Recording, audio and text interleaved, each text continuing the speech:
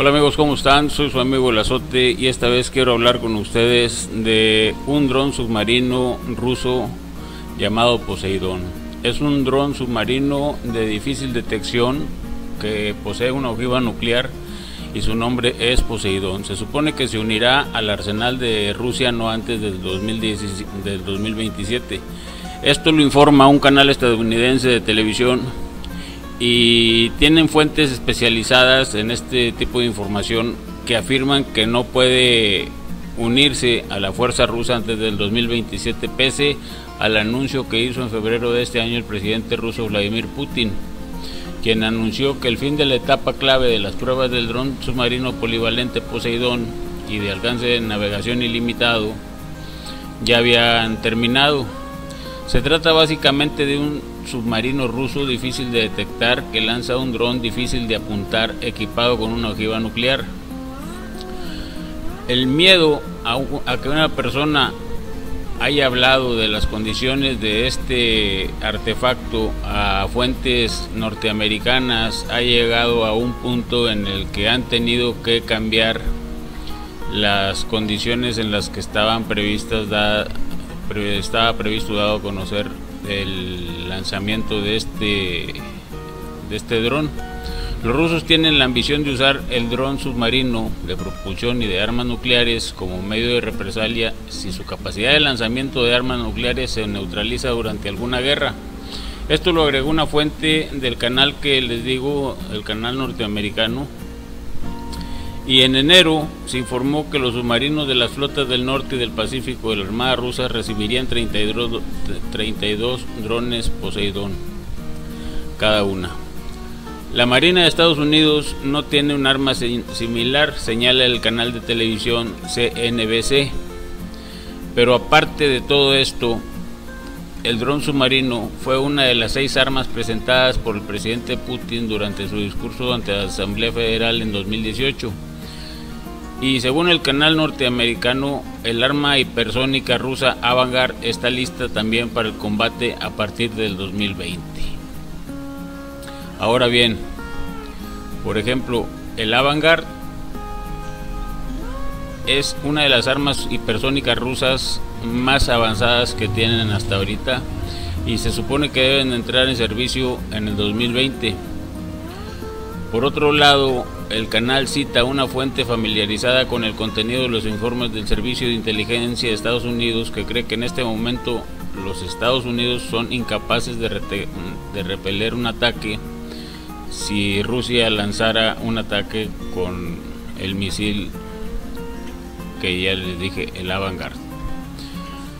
Según uno de los informes, durante las pruebas del Avangard se instalaron en los misiles balísticos intercontinentales UR-100N, además se utilizó un modelo de ojiva nuclear y aunque todavía no está claro si el Avangard estará equipado con explosivos, se espera que su precisión y velocidad sean suficientes para destruir los objetivos. El medio señala también que esta arma que ha estado desarrollando durante 30 años la Rusia puede moverse a una velocidad cinco veces mayor que la velocidad del sonido. Esto es realmente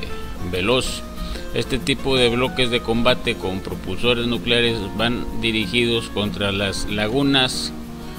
en nuestra defensa de antimisiles, dice un analista norteamericano. Es lamentable que Estados Unidos haya dejado a Rusia ir tan lejos, declaró también Tomás Carcanco, director del programa de defensa antimisiles en el Centro de Estudios Estratégicos e Internacionales de Estados Unidos. Es decir, estas armas que Rusia está dando a conocer y que supuestamente entran en el 2020 a funcionar en su arsenal,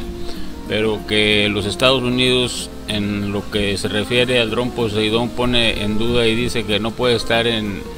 funcionamiento antes del 2027 pues sobra decir que los tienen preocupados porque además las, las agencias de inteligencia estadounidenses consideran que los Avangard son capaces de tomar contramedidas para evitar de ser detectados incluso por los sistemas antimisiles más avanzados que existen hasta el día de hoy gracias a su gran maniobrabilidad que los hace impredecibles, lo que complica su detección. Según los servicios especiales estadounidenses, los Avangard pueden entrar en servicio en 2020, no así el Poseidón. Esto será un paso serio en de Moscú, ya que adelantará de esta manera tanto a Estados Unidos como a China. Esto significa que si en realidad las cosas están siendo como Rusia dice, China y Estados Unidos podrían quedar al lado de, Rusia en la cuestión armamentística, yéndose Rusia a la cabeza. Anteriormente, de esto que les acabo de platicar, el jefe del Comando Estratégico de las Fuerzas Armadas de Estados Unidos, John Hayden, señaló que Estados Unidos es incapaz de repeler un ataque con armas hipersónicas. Dice, no tenemos defensas capaces de repeler el uso de tales armas contra nosotros. Tanto Rusia como China están desarrollando agresivamente su potencial hipersónico y agregó que Estados Unidos está siguiendo de cerca el desarrollo de la situación. Durante su discurso de marzo ante la Asamblea Federal de Rusia, el presidente Vladimir Putin calificó de invulnerable el arsenal ruso. Según el mandatario ruso, las empresas del sector de defensa ruso han comenzado la producción en serie del nuevo misil, lo cual significaría que tendrían un buen número de este tipo de armas disponibles para básicamente equipar a todas sus flotas navales. Y hay una variable de los misiles estos Avangard que podrían ser de tamaño más pequeño y que se podrían poner incluso en los aviones caza para en un momento dado durante el combate que pueda haber eh, y utilizar misiles aire-aire o aire-tierra se puede utilizar un misil Avangard para que si el avión ya llegó lo suficientemente cerca y burló algún tipo de defensas pues dejar ir un misil de este tipo en contra del enemigo y hacerle mucho más daño. De cualquier manera, yo creo que se me hace absurdo a mí en lo, personal que los gobiernos tante, gasten tanto dinero en armas. Estoy de acuerdo en que deben de pues de proteger su soberanía, sus tierras, la seguridad de sus pueblos, pero no sería mejor, como comentario final, les digo esto, no sería mejor todo ese dinero invertirlo en educación, en medicina y en tratar de promover una cultura donde los pueblos se lleven mejor unos con otros y subsanar las lagunas económicas que tenemos en los países que estamos batallando para salir adelante, de tener el flujo, el flujo de migrantes y de una manera más concreta tener un mundo mejor. Esa es una reflexión que hago yo ante estas noticias que cuando leo me quedo pensando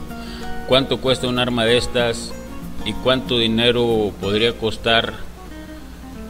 hacer de este mundo un lugar mejor para vivir seguramente mucho menos de lo que se cuesta y de lo que se gasta en todos los ejércitos del mundo, por decir el árabe, el Estados Unidos, el chino, el ruso, el iraní, todos esos grandes ejércitos, el francés, el del Reino Unido, que gastan miles de millones de dólares y que son los principales clientes de la ciencia en hacer sus ejércitos más eficaces el israelí también. Pues todo ese dinero, si se empleara en forma más adecuada para la educación y el bienestar de las personas, no nada más de esos países que tienen los ejércitos, sino que se distribuyera alrededor del planeta en todos los países que necesitan apoyo económico y se tratara de hacer una pugna, una pugna, una, una purga de todos los miembros corruptos de todos los gobiernos que hay y se tratara de apoyar a los pueblos de cada país para que estuvieran a la altura en cuestión de educación y salud, la vida en este planeta seguramente no necesitaría de este tipo de armamento. Por mi parte amigos es todo, les mando un cordial saludo y estas son las noticias que hay desde Rusia. Muchas gracias, que estén muy bien.